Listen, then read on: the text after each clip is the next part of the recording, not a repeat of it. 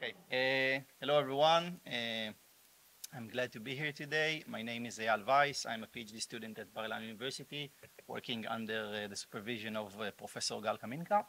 And my PhD research is about graph search theory and algorithms for planning with dynamically estimated action models. Thank you for the microphone. Um, so I guess most of you, or maybe um, almost all of you, uh, don't know the field of automated planning, which is a subfield of artificial intelligence. So the um, uh, the idea, the, the, general idea behind the field is to um, enable uh, agents of various sorts, uh, be it uh, physical or virtual, uh, to have planning capabilities so, they, they, so that they can use action models, models of the reality, and form up with action plans, which can then they execute later. Okay, so um, for the sake of this environment, it, of, of, this talk, I think we can just focus on graph search. Uh, and whenever I say planner, you can just uh, imagine uh, the graph search algorithm. Okay. Um, okay, so first, um, just a, a, brief outline. So I'm going to first explain what is uh, what do I mean by dynamically computed action models, which is uh, a new, uh, let's say, a paradigm in discrete computation. Um, and then I'm going to uh, basically uh, talk to you about the, the key idea uh, in our mathematical framework, which is novel. And, the, and the basic idea is that instead of using fixed, no numeric values for, let's say, shortest path problems in graphs, we allow gradually improving um, estimations of these numeric values uh, at the cost of computational expense, okay? Uh, which can be uh, executed during search time of the algorithm, okay, by the algorithm. This is the, the main novelty, and I'm going to discuss more about it later. Um, specifically, uh, in this talk, I'm going to just uh, focus uh, on action costs or in graph search edge weights, okay? but this, but this do apply to several other categories of numeric values. Um, then I'm going to briefly talk about uh, the uh, algorithm we've developed, which is a generalization of A-star. A-star is the most famous uh, search graph search algorithm. Um, so we've generalized it, and I come up with an algorithm called ACE, and um, just I'll briefly show that ACE is indeed highly effective. Um, okay, so what do I mean by dynamically estimated uh, action models? And why do we use them? Uh, how? Um, so um, basically, uh, planning relies on models, okay? Uh, so there are various uh, models of um, modeling part of the reality. Uh, and the basic assumption is that we know them prior to when we start solving the problem, okay? We assume that we have modeling, modeling process, then the model is fixed, and then we use it to solve the problem. Okay, this is common in many fields, uh, but it induces some problems. Okay, uh, and the major problem we tackle here is that some of the modeling parts can take a lot of time to compute. Okay, and if we um, uh, and if we adhere to this computation fully prior to solving the problem, we introduce um, would potentially introduce a major overhead, a major computational overhead uh, on the problem, okay? Because the state spaces uh, we deal with are very large, okay? Um, so, um, and in reality, uh, indeed, many parts of the model take long to compute, uh, but furthermore, we also have, um, many times we have alternative, okay? We have alternatives that are uh, cheaper estimates, which give a rough approximation, maybe a better approximation, uh, but they take a shorter time to compute. Okay, and we want to leverage this um, in order to develop a more robust framework, more robust and potentially with less computational overhead. Okay, and okay, so uh, this is this is quite general, and then numeric attributes uh, in this case can be costs, probabilities, time durations. But again, in this talk, I'm just focusing on uh, action costs, which is similar to edge weights. Okay. Um, so our main insight is that we should uh, we should uh, postpone some of the computation, okay, the edge weight uh, estimation part, uh, to the search process and let the planner choose which estimators to invoke, okay? And this, uh, and this makes sense because um, if we do it ad hoc, then it allows us to save unnecessary computation and then also deal with larger problems, okay, that we cannot deal if we do all the computation in advance. Um, okay, so again, the focus is on uh, action cost estimators. Um, so um, costs can be obtained by uh, external procedures, okay? And again, they can consume non-negligible runtime and uh, um, almost always uh, um, estimators of various numerical properties, I guess you all know that, return with some uncertainty, right? We try to quantify it using statistical measures, let's say standard deviation, confidence, bounds, uh, whatever.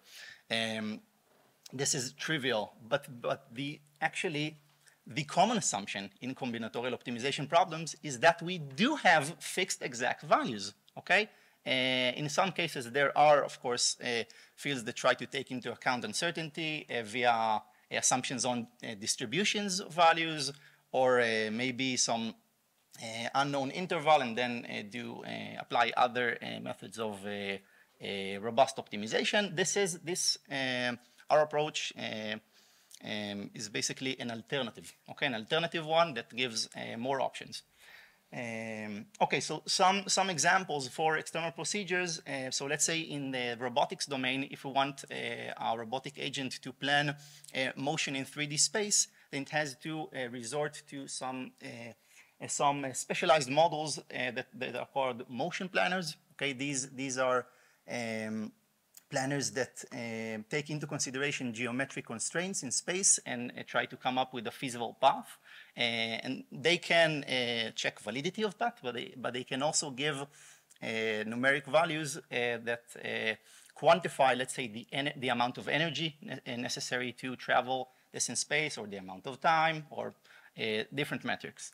Uh, so this is in the robotics domain, uh, but we can actually think about any any domain. And uh, of course, you all know in neural networks. I guess uh, many of you use uh, use uh, learning approaches to estimate estimate and quantify numeric values, and they all come up with uncertainty. Okay, that we want to quantify and use it. Um, so basically, it applies to every domain. Okay, um, I'll skip the next example. Um, okay, and again, our, our, model assumes that, um, which is quite a, a, quite reasonable assumption, that if we allow more time, then we can obtain results that are better. Okay, this is of course uh, bounded by the methods we have, but usually um, if we can uh, allow more processing time to uh, take into account more data, then um, and then we can indeed um, at least reduce uh, the standard deviations up to some point. Okay. Um, so um, this uh, new formalization, this new mathematical formalization, um, it introduces um, another degree of freedom that we have to manage. Okay, so new algorithms are required, um, and um, so typically, uh, so typically, let's say uh, in uh, standard combinatorial optimization problems that take into account numeric uh, values, we have, let's say, get cost. So now instead of the get cost, we have get estimate, and the get estimate instead, uh, um, um, instead of returning just an exact value, it returns an interval. Oh, sorry, an interval. Okay, like a lower and upper bound that that uh, contain the, the true value, and we work with these bounds. Um, so um, uh, the, the major insight here is that uh, this uh, novel formulation introduces um, another, another degree of freedom that we have to take into consideration. Okay, so in standard uh, combinatorial optimization problems of various sorts, specifically in shortest path problems, uh, we try to minimize the search effort. Okay, and we have various ways to do so, but we focus on the search effort, the number of uh, uh, uh atomic actions that we have to use in order to uh, come up with the shortest path. Okay. But now we also have another kind of effort, which is estimation effort. Okay, and we have to manage because there's a trade-off between them. We can easily come up with algorithms that minimize search effort, but uh, um, do it on the expense of estimation effort, and vice versa.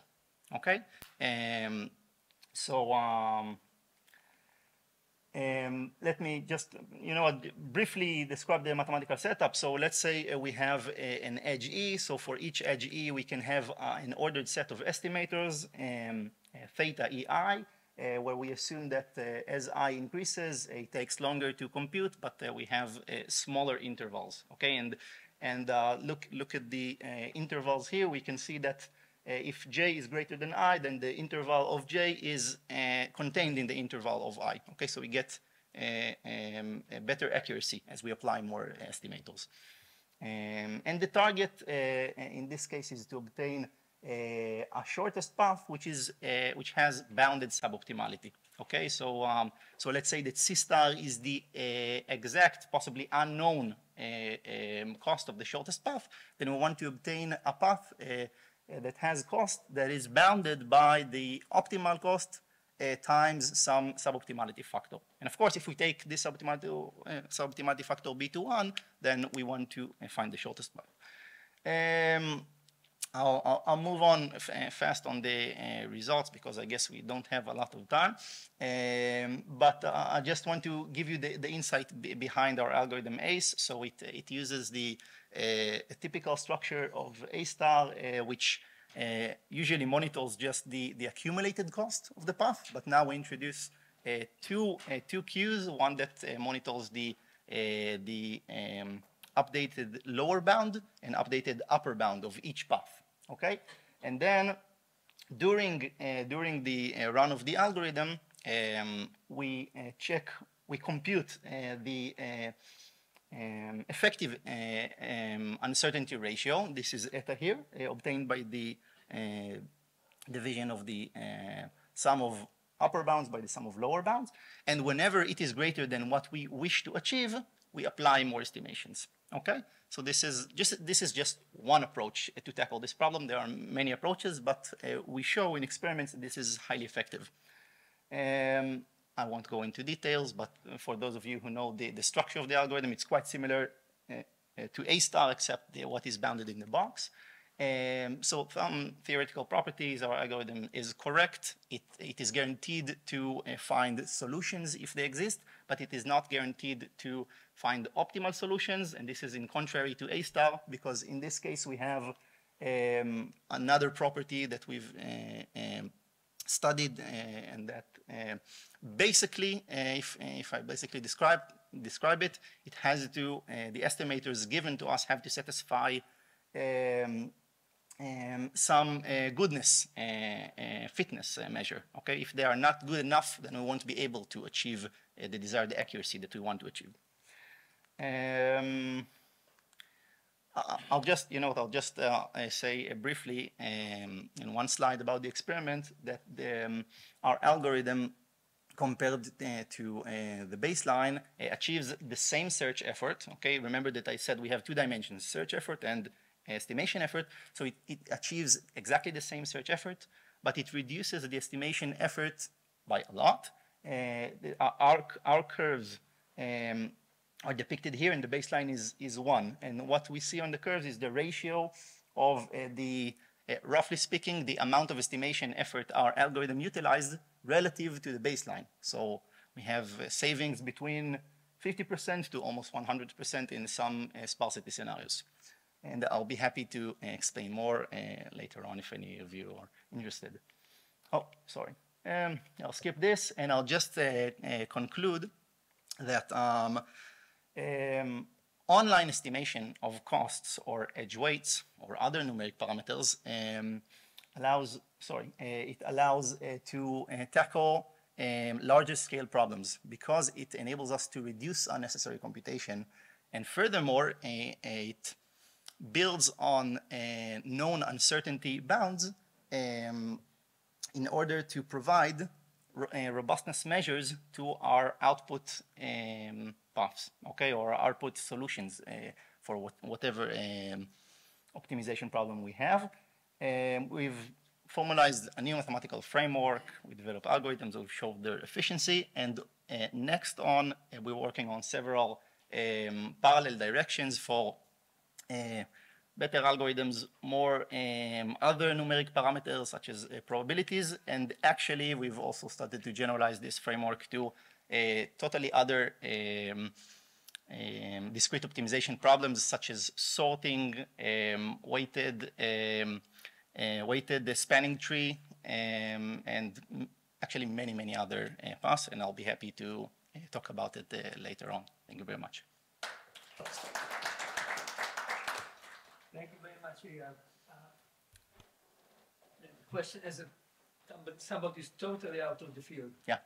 How much time and effort hours does it take, did it take you to go from A star to ACE? And is ACE final or you're still improving it? Okay, great. That's a great question. It, it actually, uh, it, it's totally dependent on the problems we have, uh, on the, the scale of the search effort, but, but also on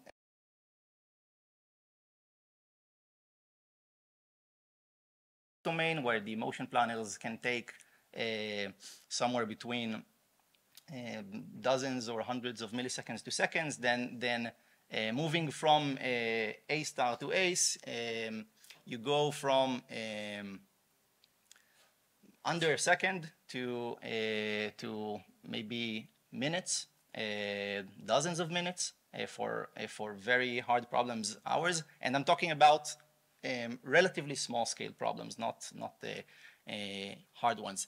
Um, not hard, hard ones, I mean like climate uh, um, prediction or so on. Um, but again, it gives us actually the tools to address problems that weren't addressable before. Uh, because uh, uh, beforehand, um, we had to uh, adhere to uh, some estimation level effort and assume this is the case and then work with it. And now we can um, scale with the problem.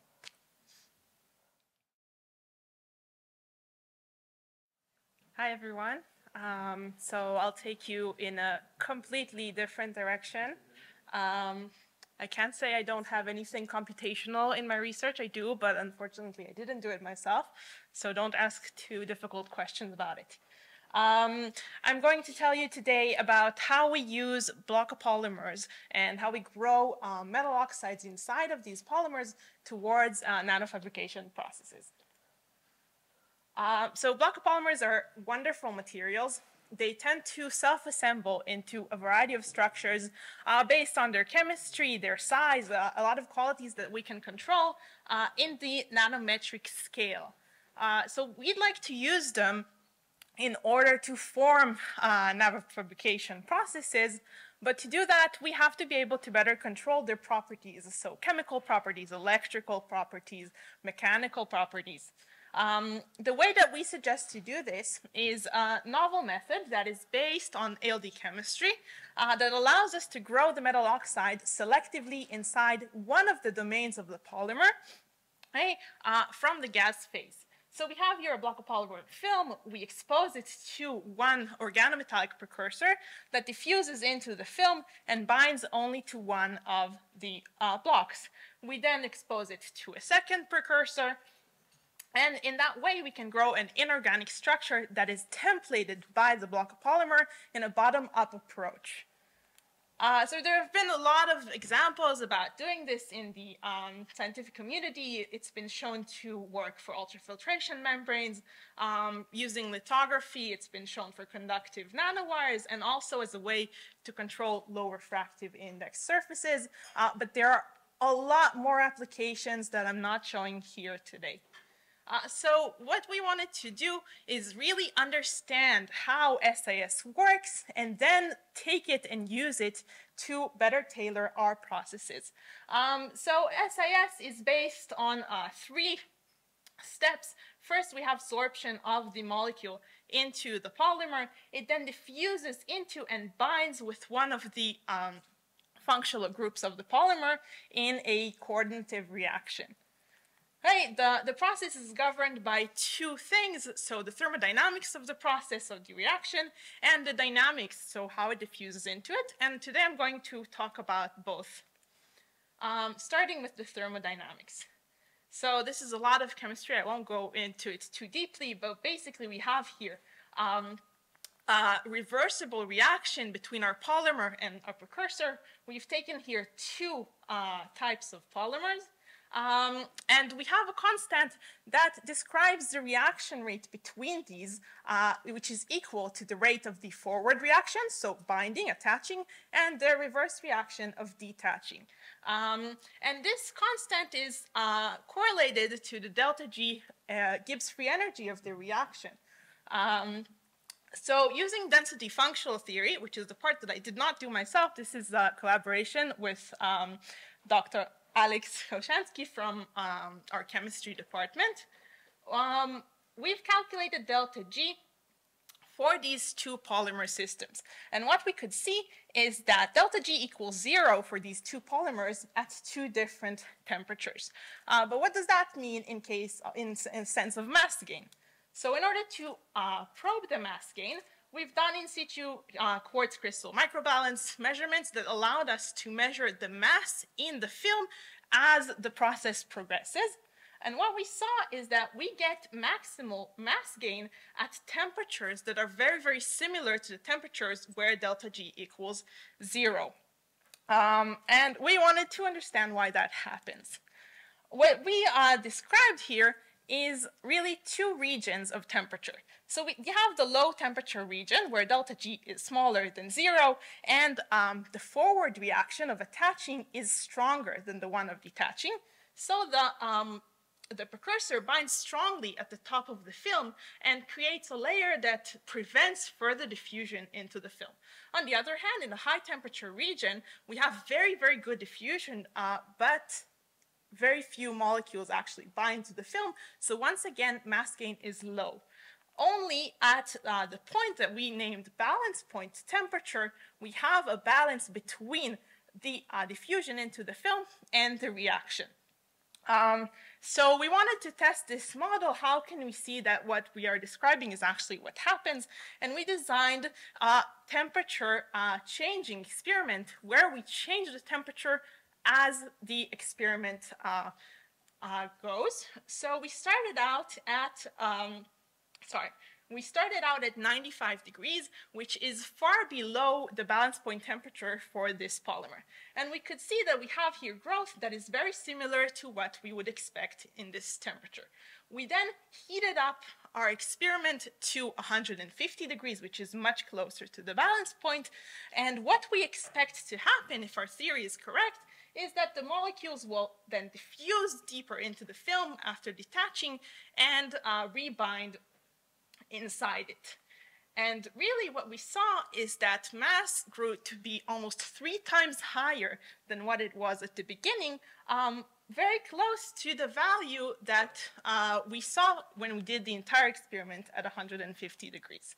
Um, so the next step for us was to take this understanding and find uh, a way to apply it to block polymers. Uh, we chose a block copolymer that self-assembly is very temperature sensitive. So if I exposed it to 150 degrees, the self-assembly would be destroyed. Um, and we tried growing in it at 80 degrees. So what we could see is that the self-assembly pattern has uh, been preserved, but we got a very, very thin film uh, as a result. When we did the same experiment at 150 degrees, uh, we got a very thick layer, but no self-assembly. Um, so we designed an experiment where we do the first cycle of SIS at 80 degrees and then the following cycles at 150 degrees. Um, so we know that our precursor is able to diffuse through the other block without reacting to it. So hypothetically speaking, our layer would have the shape of the block that we're growing in, even if it doesn't go in. Um, in which case it would prevent it from changing its uh, assembly at a higher temperature. And really what we saw is that we were able to preserve the morphology of the polymer, but got a much thicker layer, similar to what we saw at 150 degrees. Um, and uh, taking this one step further, we wanted to experiment with different precursors. So this is taking us into, oh, sorry, skipped one. Um, before that, uh, we wanted to probe the dynamics of the process. So if we look at the full process, we have here uh, mass going up uh, after um, we expose our precursor into the cell. So we have an increase in pressure here in black. And then we have increase in mass in a delayed response to the pressure that goes down and eventually stabilizes. Um, but we wanted to see what happens if we stop our experiment here while we're still in the high mass region. And really what we saw is that if we only do a short exposure of just one cycle, we can uh, grow 60 nanometers of alumina, which just to compare is what you would grow with five whole cycles of SIS otherwise in just one cycle. So now we'll take this uh, to two precursors. Um, so we introduced a second precursor. This is a precursor to grow zinc oxide.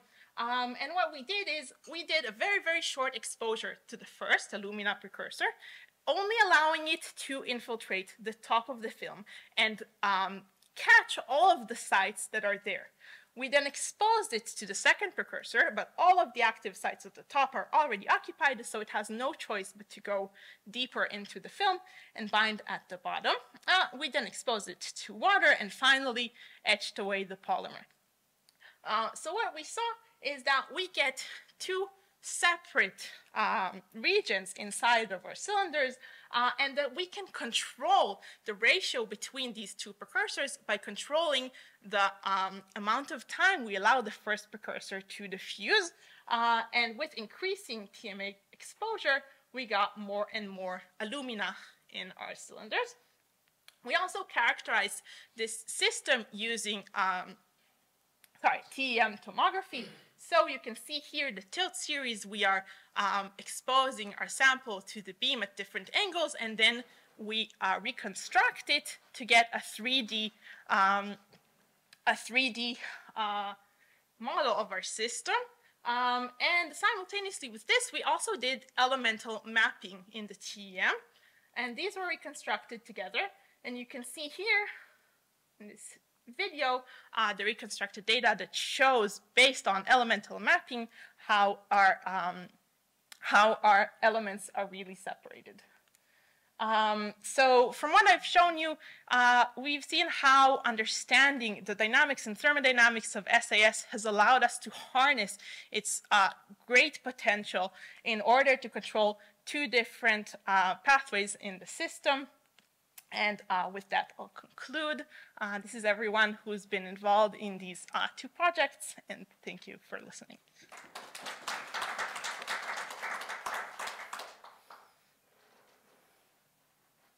Questions? Yes? Please. Um, so uh, maybe I didn't get it quite, but what is exactly the mechanism that controls the pattern formation of these block polymers in, in this sort of lattice? Um, so block polymers, the way you can imagine them, you have one chain that is one of the blocks and a second chain that is the other. So if I control the length of each of these um, chains, I can control the pattern. If one is really, really short, it would form um, uh, particles. If uh, they are around 3070, I get these cylinders that you saw. If you go closer to 50-50, then you would get lamella. And there are more complex morphologies that you can achieve if you have more than one block, uh, more than two blocks, and uh, so on. Um, but what you control here is really the chemistry of the polymer and the self-assembly is dictated by that. So the polymer does the assembly on its own.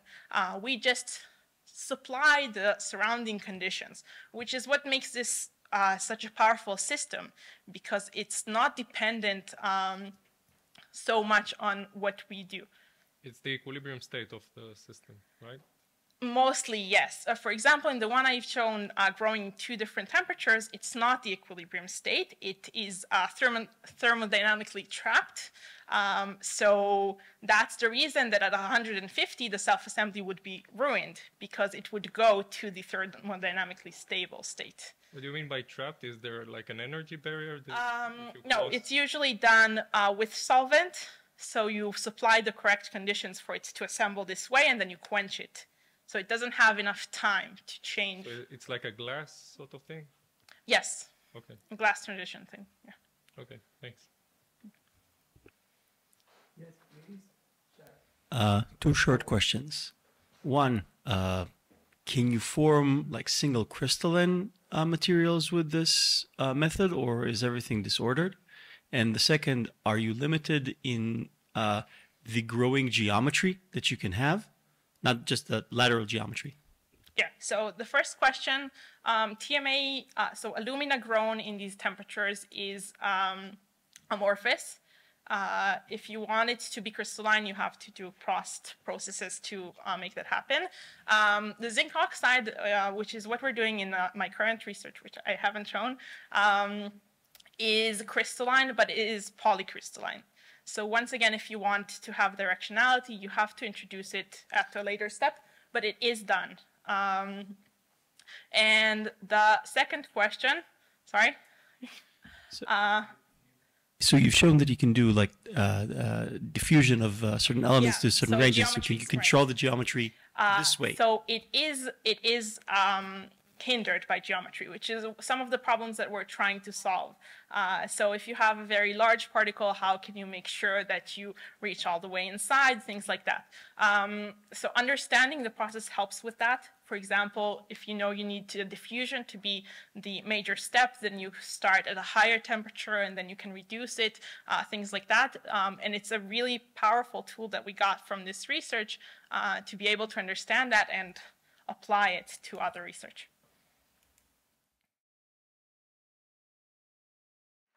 The next talk is by Yoav Zigdon, uh, physics, Ben Gurion University. Um, okay, yeah, thanks for the organizers for this nice event.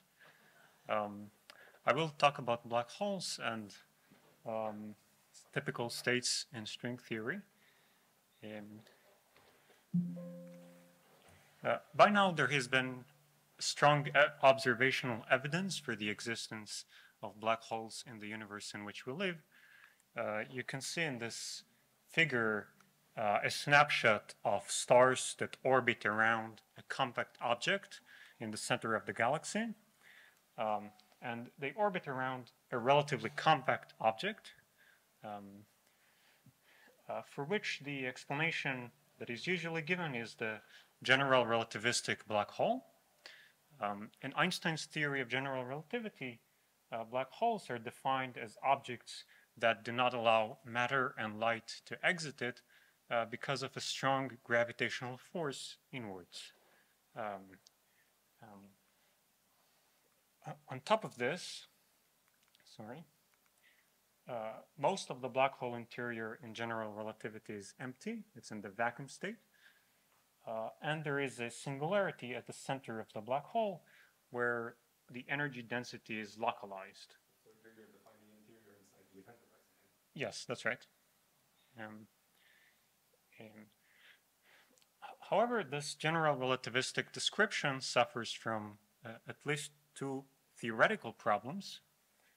Um, one of them is uh, shown by Hawking that uh, black holes emit thermal radiation, and the process of evolution of this uh, of some star that collapses to a black hole and then emits this radiation was shown to violate a rule of quantum mechanics. Uh, and this is bad because in conventional systems uh, in the lab, we see that uh, quantum mechanics is a correct theory. Um, so this is one issue, which I can elaborate on this uh, if, if you'll ask me about. Uh, the second issue, which I mentioned, is the existence of this singularity at the center of the black hole, uh, which involves infinitely large density. And usually in physics, we want theories that predict finite results for experiments. Uh, so this is another indication that something is amiss in the general relativistic description of black holes. And uh, this motivates a better des- description of this uh, object. Um, and um, string theory is a theory that combines general relativity with quantum mechanics, and it has the potential of resolving the issues that I mentioned. Um, it posits that the fundamental constituents of energy in nature are extended objects like strings and branes. Uh, so on the left there is a closed string, on the right a two-dimensional brane. You could also have higher dimensional branes in the theory. Um, and these fundamental objects could be either uh, small or large, and also one can bind together these objects on top of each other to form more complicated uh, states. And okay. Um, now, I would like to come back to the black hole issue, which I mentioned. Uh,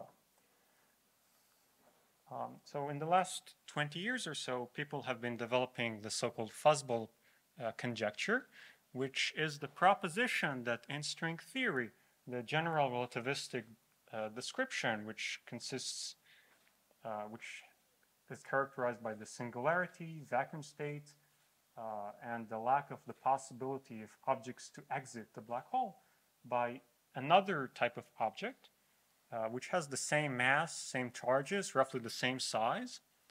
Um, but as I mentioned, there are these uh, differences between the two descriptions.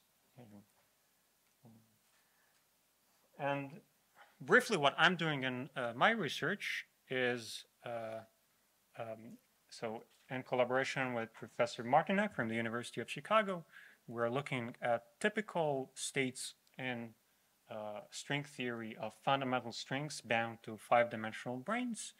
Um, and we consider these states to have uh, large energy and they can rotate in space. Um, and we calculate properties of these states, which in- include uh, the size of these objects, uh, the geometry that they induce.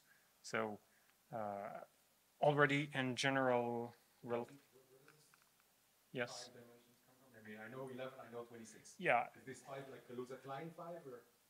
So, so you have the 10-dimensional space, and uh, within the space there there is a five-dimensional compact space, and around this compact... Any reason why, why specifically five?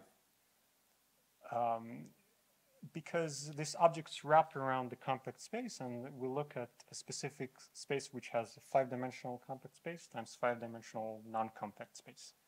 And, but we expect that lessons drawn from this research are also applicable for, say, four-dimensional uh, non-compact space. Um, so um, I mentioned, um, let's see. Yeah, I wanted to say that already in general relativity, uh, it was understood that energies uh, sources induce uh, curvature in the geometry, and we want to study what is the geometry which I, I should say s- space-time geometry. Uh, and we want to study what is the space-time geometry that corresponds to this typical bound states. And, and finally, we also calculate uh, typical separation between parts of this uh, extended object. Uh, so that's more or less uh, what I do. Thanks for your attention.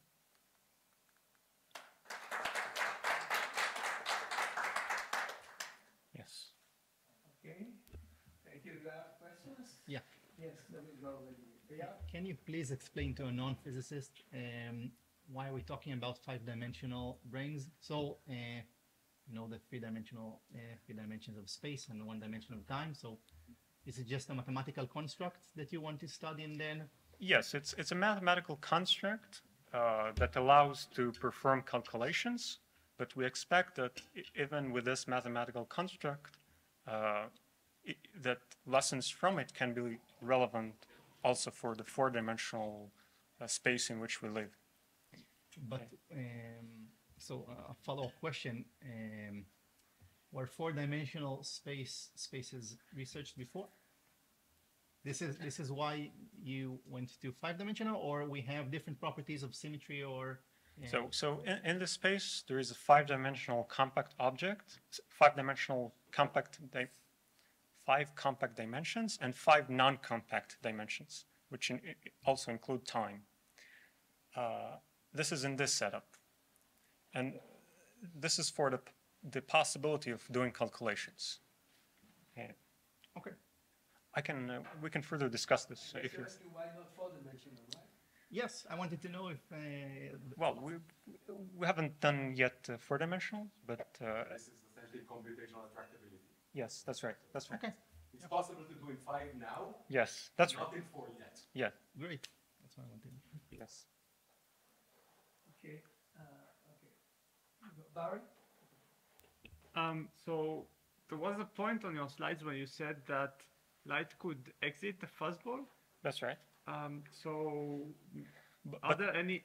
but, but it's still hard for it to escape it. Okay, so are there any observational uh, implications for? Um, uh, I mean, given the possibility that that light can actually come out, is there Yeah, any poss- possible chance to see something? Maybe in like LIGO. Um, I mean, combined with a LIGO observation.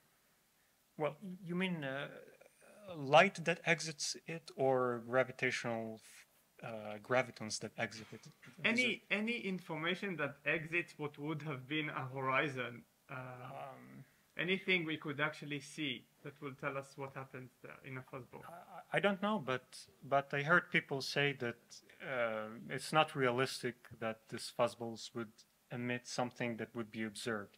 Uh, you, you you would still need these observations, uh, let's say stars orbiting around a, a compact object or the gravitational waves emission. Uh, but we think some people think that the emission of gravitational waves uh, would be different from between fuzzballs and conventional general relativistic black holes, and this could uh, uh, distinguish the two cases. thank you Okay, uh. was it, uh, Omer? Ty? Ty. Ty, uh, Okay. Which one was it, sorry? Yeah. Just a quick question. Um, in uh, in my PhD, I I uh, also kind of uh, looked at problems that were similar but for other systems, where where you go to a higher dimensionality, you suddenly have a certain vector field that reduces your singularity, something that was catastrophic in a lower dimensionality, to something that is more tolerable.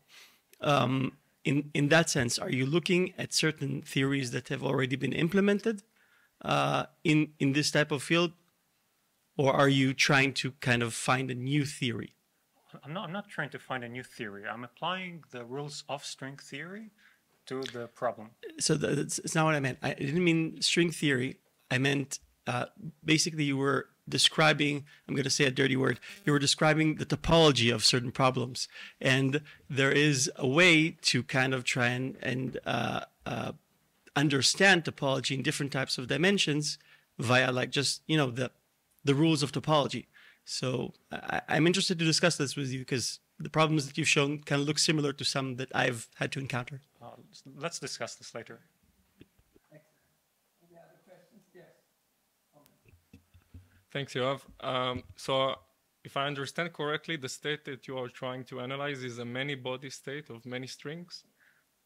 Is that a true statement? N- Not really. It's uh, really one string which is bound to one f- five brane. Okay, so just one string. But but uh, I'm looking at an ensemble of such bound uh, states and average over this ensemble. So wh- what I'm alluding to is whether the black hole or fuzzball state is uh, a phase transition of something which is like a many body state. Because in this case, there could be a critical dimension uh, for which a phase transition would not occur anymore, and it, this could be four dimensions. So You, you want phase transition between which phase to which phase? from a black hole, uh, from a black Oh. hole-like entity, uh, the way you define it, to Right. something which is more regular. Um, yeah, people uh, discuss this uh, phase transition. It's called a black hole string transition. Uh, but I didn't get your specific question. I mean, whether there's a critical dimension here that you are aware of that might be problematic uh, for you to um, deduce things from the 10-dimensional solution to a four-dimensional one. uh, Because if the critical dimension is four, then that's a problem. But if it's not, then it's fine. If it's three, then it's fine. I, I don't think it's an issue, but uh, I'd like to talk about you with Okay, de- sure. deal with this. Thanks.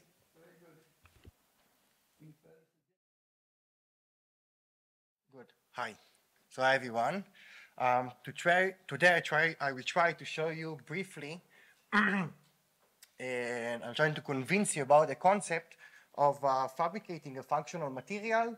I'll show you different types of functional material using bottom-up approach, in which we can think about the building blocks of the desired material and how we synthesize them in the lab in a certain and specific way uh, with specific properties. And later on, we can predict, okay, if I can take these building blocks like Lego, build them on top of each other in a methods that uh, we've now available in the laboratory, we can uh, really think about uh, the material that uh, we will end up in our end. Good. So um, there is many types of materials that we that uh, uh, uh we showed. Uh, I showed in my PhD. we tried. We managed to store charge. we showed a memory element.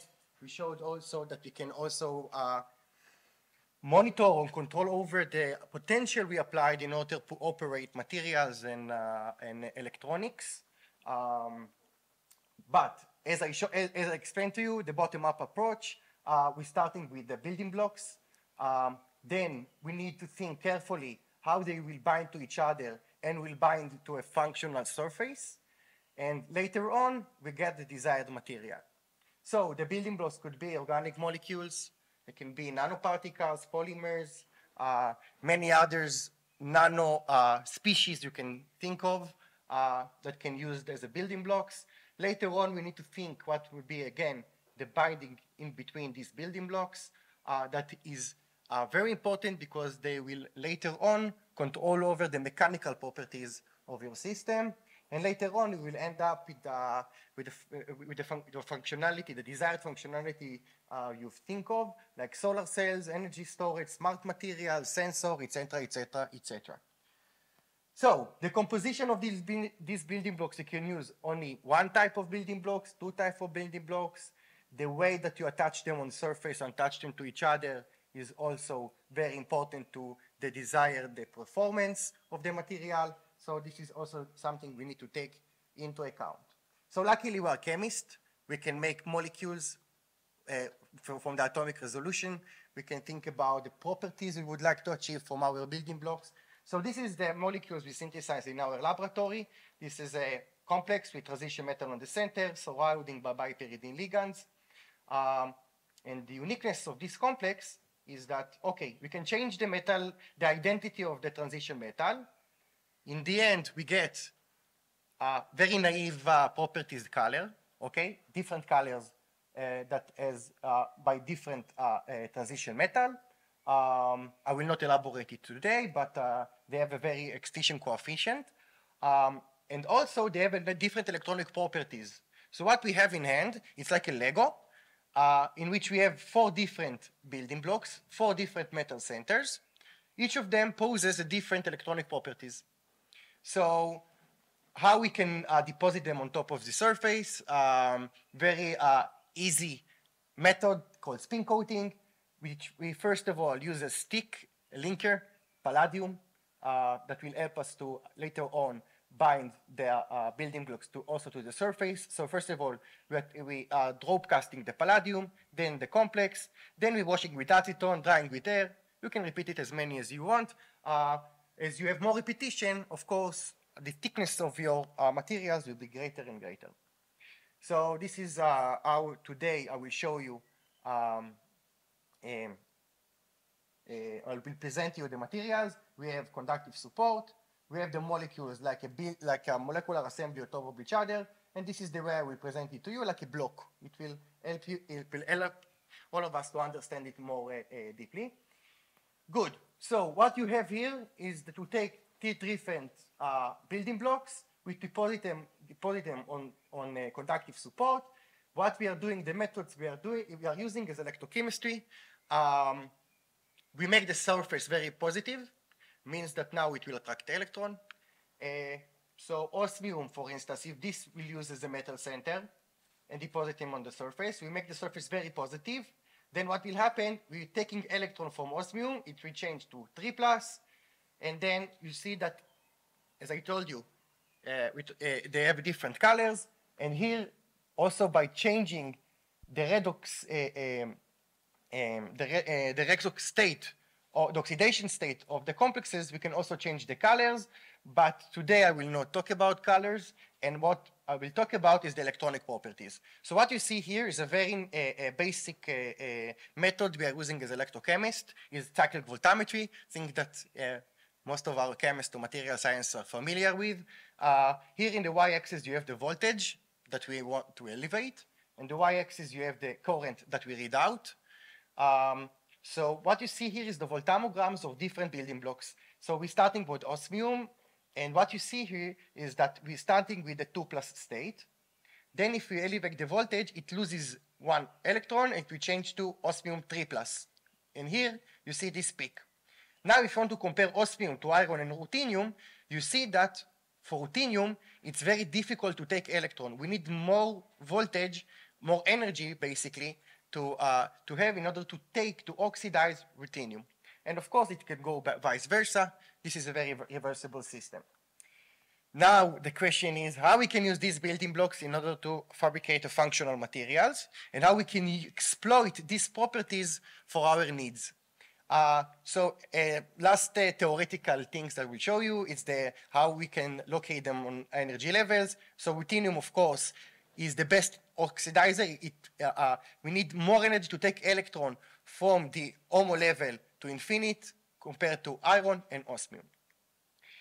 So I will try to show you today uh, uh, a phenomena we, we observed in our uh, laboratory that help us later on to think about other functional materials uh, and is our ability to trap positive charge to make a hole in, in, in, upper, in the upper layer.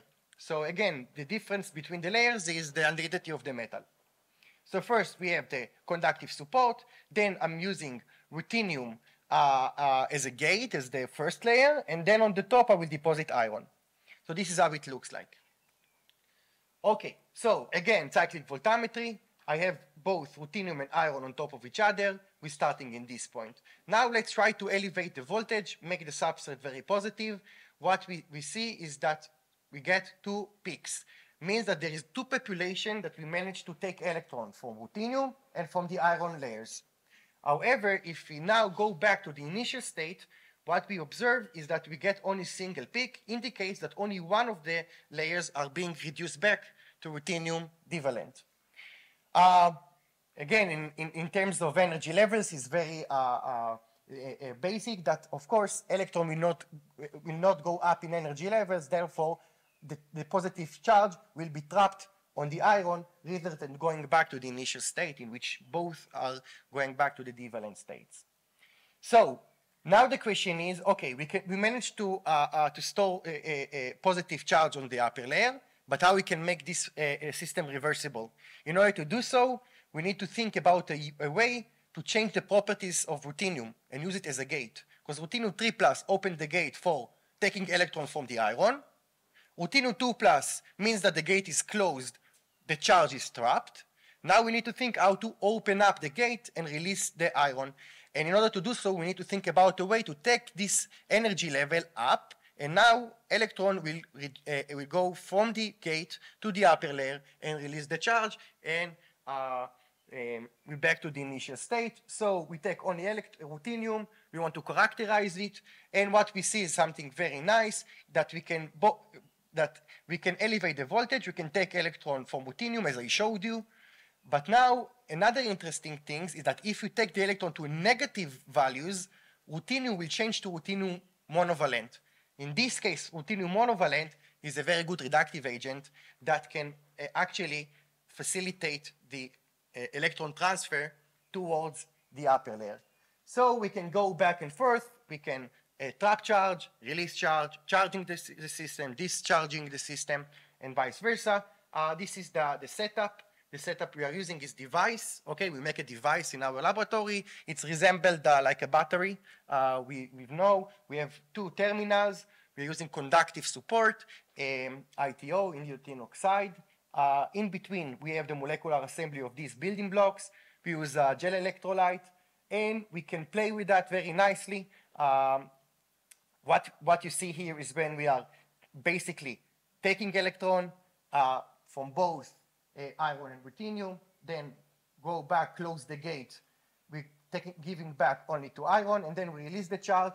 We give back to both iron and ruthenium, and I will end up. I have two one minute. I will end up. We just tells you that the fact that these two building blocks has have uh, colors, different colors, and also change the colors upon the oxidation state is really a, help us to understand what is actually happens in our device, whether is a, a charge or discharge. Okay, because here what you see is the UV-Vis uh, uh, spectra. Here you see uh, the absorbance versus the time. So now we're starting with both of them, iron and ruthenium initial state, both divalent. Now we're taking electron from both. We're going up in absorbance because the film become transparent. Then we want to close the gate. You see that we're doing only the half a, a, a way back. We cannot gain back the full color. Means that in this case, the, the device is charged. Okay? And now we are releasing the charge and back to the initial state, and we complete a cycle in which we are charging, discharging the device using uh, these building blocks. Uh, and here you see the, the, actually the color, the initial state, then the, uh, the device is charged, and by changing the properties of this gate, ruthenium, we can go back to the initial state, the initial color. Uh, this is only the tip of, of this project that uh, later on we built up another two functional material that we managed to make out of these molecules uh, using the optical properties of the building blocks and also the electronic properties of them. So uh, thank you.